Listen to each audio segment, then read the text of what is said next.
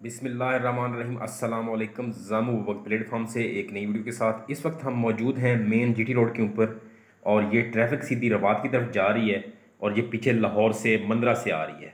हम इस वक्त रवात को क्रॉस करके थोड़ा सा आगे आए हैं। बिल्कुल थोड़ा सा आगे। और ये यहाँ मेन जीटी रोड के ऊपर आपको ये मेन इंट्री गेट नज़र आ रहा है। ये पुराना वाला न्यू पिंडी हाउसिंग सोसाइटी बनी थी। उसका एरिया है ये वाला। लेकिन अभी डीएचए ने परचेज़ कर लिया है। तो ये डी एच ए थ्री के पास आ चुका है। यहाँ पे डी एच ए ने अपना गेट लगा दिया है। ये गेट डी एच ए के नाम से लगा हुआ है। अगर आप अभी आते हैं तो आपको मेन नज़र आता है जी टी रोड के ऊपर। अब हम उसके मेन बुलवर्ड से अंदर आ चुके हैं। ये मेन इंट्री गेट नज़र आया आपको और उसके मेन बुलवर्ड से हम आगे आ चुके हैं। ये बिल्कुल थोड़ा सा पहले करके आप रवात का मेन बाज़ार क्रॉस करने के बाद थोड़ा सा आगे आते हैं। आधा किलोमीटर आगे आते हैं तो आपके, अगर लाहौर की तरफ़ जा रहे हैं तो आपके लेफ़्ट राइट साइड पे आएगा और अगर लाहौर से वापस इस्लामाबाद की तरफ़ आ रहे हैं तो आपके लेफ़्ट साइड पे आएगा। ये पीछे सारा जितना एरिया नज़र आ रहा है आपको बैक साइड पे, ये सारा रवात का एरिया नज़र जावा रोड लगता है और ये थोड़ा थोड़ा करके डी एच ए परचेज करता रहता है और ये डी एच ए बेसिकली इसको लिंक कर देगा मेन इंट्री गेट की तरफ़, जो कि गीगा माल से पहले डी एच ए थ्री का मेन इंट्री गेट था, उसके साथ लिंक इन कर देगा। सो ये बैक पे सारा area Aahista Aahista in future ये परचेज कर लेंगे। जैसे ही इसके मेन एंट्री के ऊपर एंटर हुए हैं, यहाँ पे आप देख सकते हैं, ये पहले मुकम्मल स्मूथ की गई थी सोसाइटी न्यू पिंडी सोसाइटी एक बड़ी पुरानी सोसाइटी बनी थी, लेकिन वो कामयाब ना हो सकी और वो उन्होंने अब ये सेल कर दिया डीएचए को। तो डी की जो मेन एंट्री है, वो यहाँ पर बन चुकी है गेट थ्री की। सो ये इनकी बड़ी प्यारी और प्राइम लोकेशन की एंट्री बनती है। यहाँ से सीधा डीएचए में दाखिल होते हैं और बैरिया भी, बैरिया की तरफ़ भी निकल सकते हैं और मज़ीद आगे आप रश से बच सकते हैं। इन फ्यूचर अभी नहीं। अभी तो ये थोड़ा सा इन्होंने ट्रैक या थोड़ा सा एरिया इन्होंने यहाँ पे परचेज़ करके अपनी बॉर्डर वाल लगाने के बाद ये वाला एरिया डेवलप किया है। जहाँ जहाँ तक मेरा कैमरा आपको लेके जा रहा है, आप देख सकते हैं स्ट्रीट वाइज इन्होंने सारा एरिया मुकम्मल किया हुआ है। गलियाँ मुकम्मल हैं रोड मैप बिछाया हुआ है। रोड मैप पहले भी बिछा हुआ था, लेकिन उसको सिर्फ़ कारपेटेड इन्होंने किया है। उसके अलावा इन्होंने सीवरेज जो है, वो पहले बिछी हुई थी, लेकिन इन्होंने न्यू सीवरेज बिछाई है। प्लस इन्होंने इलेक्ट्रिक सारी मुकम्मल प्रोवाइड की है। तमाम सहूलियात प्रोवाइड करने के बाद लाइटिंग लगाने के बाद ये सारा आप डिलीवर करने जा रहे हैं। और उम्मीद है ये इस महीने में ये डिलीवर कर देंगे। ये जो पिछली वाला एरिया सारा दिखा रहा हूँ, ये सामने आपको आबादी नज़र आ रही है। ये सारी आबादी रवात के बैक साइड पे जावा रोड की आबादी है। वो सारी इतनी आबादी नज़र आ रही है जावा रोड की आबादी है। ये वाला एरिया अब एंड यूज़र के लिए या इन्वेस्टमेंट पॉइंट ऑफ़ व्यू से बहुत ही आइडियल लोकेशन बनती है प्राइम लोकेशन बनती है। आप जैसे ही यहाँ से बाहर निकलते हैं, चंद कदम के ऊपर आपको मेन जी रोड मिलता है। और इन फ्यूचर यहाँ पे चूँकि मोटरवे बनेगा, इसी से थोड़ा सा आगे करके एक किलोमीटर आगे जाके मोटरवे बनेगा रिंग रोड बनेगा तो ये इन फ्यूचर के जो है हवाले से ये बड़ा ही आइडियल लोकेशन बनती है टी चौक के बिल्कुल सेंटर बनता है। आप यहाँ से इस्लामाबाद की तरफ़ निकलना चाहते हैं तो आप बाहर बाहर से टी चौक से इस्लामाबाद की तरफ़ निकल सकते हैं। सो एक मरकज़ बनता है, यहाँ पे तमाम तर कमर्शल की एक्टिविटीज़ जो है वो आपको मिलती हैं।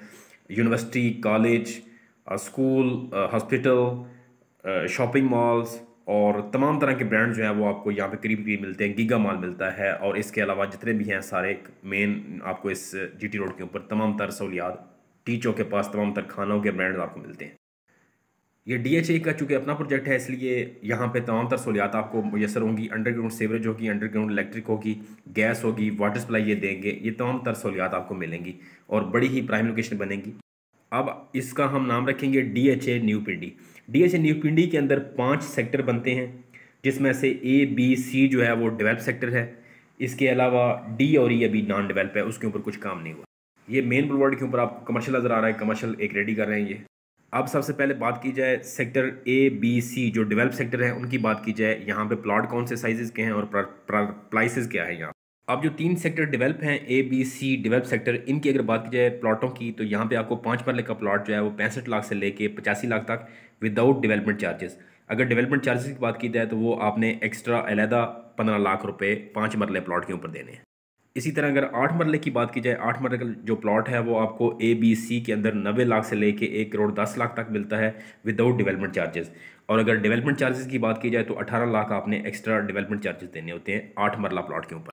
इसी तरह अगर दस मरला की बात की जाए ए बी सी सेक्टर के अंदर तो दस मरले का प्लॉट एक करोड़ से लेके एक करोड़ पचास लाख तक है विदाउट डेवलपमेंट चार्जेस की बात कर रहा हूँ।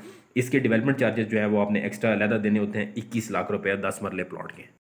अब अगर बात की जाए एक कनाल प्लॉट की तो A B C block sector के अंदर आपको एक करोड़ सत्तर लाख से लेके दो करोड़ तक प्लॉट मिलता है विदाउट डेवलपमेंट चार्जेस और एक कनाल के डेवलपमेंट चार्जेस जो हैं, वो तीस लाख अलहदा बनते हैं, वो अपने अलग अलग देने हैं, तीस लाख। एक कनाल प्लॉट के ऊपर।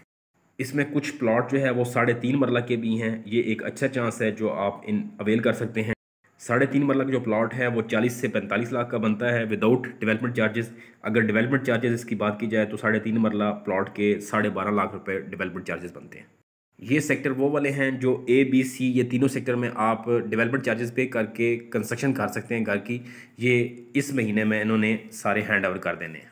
दूसरे सेक्टर की बात की जाए डी और ई e. डी और ई e जो है वो अभी नॉन डेवलप है सारे।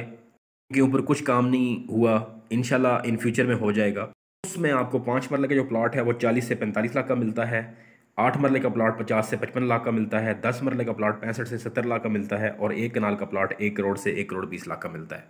देख सकते हैं, तमाम एरिया जो है वो डेवलप हुआ है। रोड कारपोरेट किए हुए हैं। बहुत ही प्यारा जगह बनती है। अगर किसी ने यहाँ पे प्लॉट परचेज़ करना है या प्रॉपर्टी परचेज़ करनी है, वो हमारे नंबर पर रबा कर सकता है व्हाट्सअप कर सकता है, या रावलपिंडी इस्लामाबाद की सोसाइटी में किसी ने प्लॉट परचेज़ या प्रॉपर्टी परचेज़ करनी है, हमारे नंबर पर रबा कर सकता है। इसके अलावा अगर किसी ने यहाँ पर प्लॉट सेल करना है, प्रॉपर्टी सेल करनी है, या रावलपिंडी इस्लामाबाद की किसी सोसाइटी में भी कोई प्लॉट या प्रॉपर्टी सेल करनी है, हमारे नंबर पर रबा किया जा सकता है। एग्रीकल्चर लैंड के लिए हमारे नंबर पर रबा किया जा सकता है, हमारे पास एग्रीकल्चर लैंड होती है, इंडस्ट्रियल लैंड होती है। हाई राइज बिल्डिंग के अंदर किसी ने कमर्शियल के अंदर इन्वेस्ट करना है पर ईयरली इनकम के लिए तो भी हमारे पास बैरिया फ़ेज़ एट में हाई राइज कमर्शियल में आप इन्वेस्ट कर सकते हैं पर ईयर इनकम के लिए। उम्मीद है आज की वीडियो अच्छी लगी होगी। वीडियो अच्छी लगी तो लाइक कीजिएगा। नए आने वाले चैनल को सब्सक्राइब ज़रूर करें। अपना बहुत ज़्यादा ख्याल रखिएगा। पब्लिक ट्रांसपोर्ट आपको मेन जीटी रोड पे 24 आवर मिलती है। पब्लिक ट्रांसपोर्ट आपको हर टाइम यहाँ पे अवेलेबल है। इजाज़त चाहते हैं। आहिस्ता आहिस्ता वीडियो को अख्ताम करते हैं। ये मेन इंट्री गेट की तरफ़ हम दोबारा वापस बाहर जा रहे हैं। अपना बहुत ज़्यादा ख्याल रखिएगा। मिलते हैं नेक्स्ट वीडियो में। अल्लाह हाफिज़।